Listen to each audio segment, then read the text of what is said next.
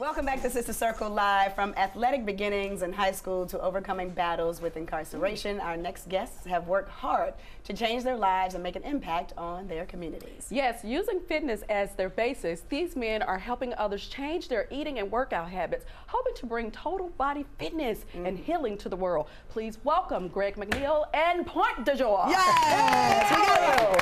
yes. Real fancy I name. Know. Pointdujour. Is it, is it French? It is, it is. Yes. You Haitian? I'm, I'm He's Haitian. Haitian. Okay. Is it real? I want to see some ID. It's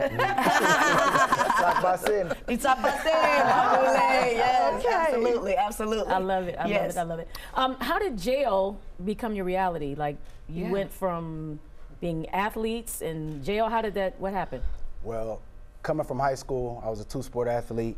Um, received a partial scholarship to go play junior college football. Mm-hmm. Um, I did two years there, and I had a foot, a foot injury. So when I had that injury and I transferred to my four-year school, I was un- unable to play sports anymore. Mm. So being from you know Irvington, New Jersey, and then moving to Union, New Jersey, I still had contacts back at home. So I had one foot in school, one foot still in the streets, right, right. And then just kind of got mixed up in that, and then yeah. ended up getting caught up in a conspiracy drug trafficking case. Oh, wow. And then I spent a year and a half in federal prison. Oh wow! Yeah. What, what, about you? Uh, similar situation. I didn't get injured, but I I played college basketball as well, uh, number five NAA and NAIA, uh-huh. and I ended up um, getting caught up in a drug conspiracy. I received a 25-year federal sentence. Oh, wow! And got my whole conviction overturned, sentence vacated. You know. Oh, wow. praise God! Yeah, just yeah. a walking blessing. Yes, yeah. really, really. So, what was that that turning point? Because you guys could have take, easily taken this situation and said, "Man, woe is me. This is what my life is." But you mm-hmm. decided to turn it around? What was yeah. the turning point for each of you? I think it was a, a, a mind a mind shift. So oftentimes, if you're stuck in a certain situation, like even from an impoverished state, when you when you think poverty and you say I'm poor, I'm broke, then that's the mindset you're gonna have. Mm-hmm. So I think mine was once I changed my thought process, mm-hmm. I knew that I had to physically make the change because yes. you can always speak about making a change, but if you don't physically take that uh, you know, next step, then you'll yeah. be stuck where you are. Right, and, uh, right, absolutely. right. Do you echo those sentiments as well? I echo it exactly yeah. to the same point. Yeah, yeah. absolutely. So absolutely. how did you all team up? Like, how did this happen? Greg you're on the straight and narrow now, and you're doing your thing. Well, how did you do that? long story short. Hey, y'all smell good. Go ahead.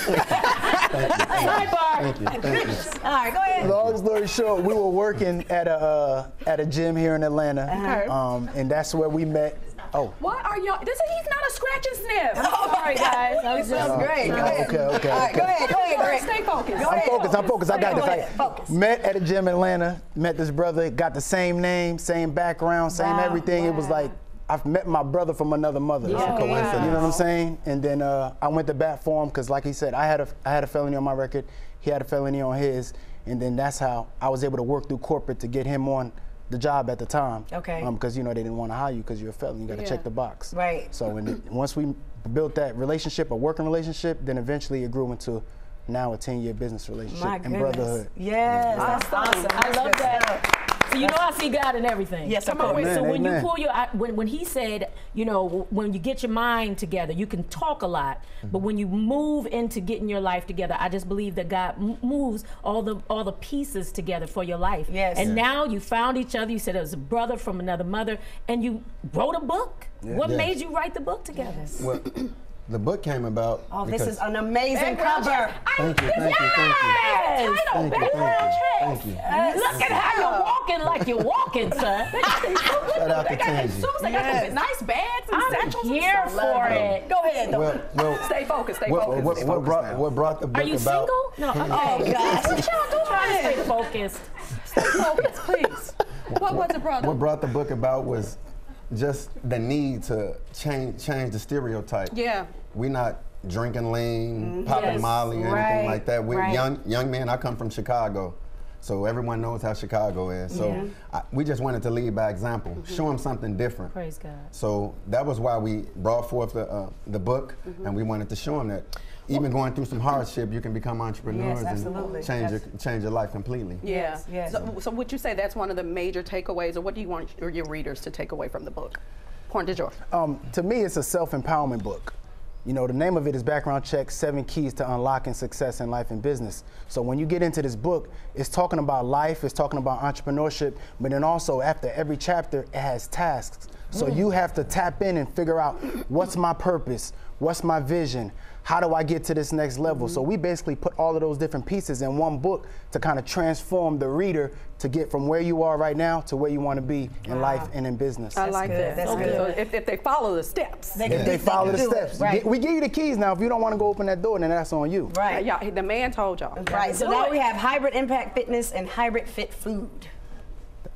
We That's- opened that's the gym. amazing. We opened the gym 10 years ago. Just wanted to change lives one day at a time. Okay. And it ended up growing into Lexi, something you see else. that picture, Lex? Did you catch There that you go. picture? So I know you were looking at the picture. So I, you was looking at the man. I'm actually looking at the Go back to the picture. That- Somebody's petty in the program room. Oh my gosh. Oh my God. So go ahead. it ended up growing into um, nutrition because we had a lot of clients that that they actually did the actual exercise, but they didn't understand the importance of nutrition. No, they didn't. So we incorporated the restaurant hybrid fit food Okay. to give them a twofold, and now we're working on a, another one that we're actually going to um, building out doing a partnership Okay. in Decatur, Georgia. Right Come on, as we Awesome. speak. Awesome. That's fantastic. Stay Well, focused. Greg don't and don't Greg. look to the right. So don't look to the right. Just stay focused.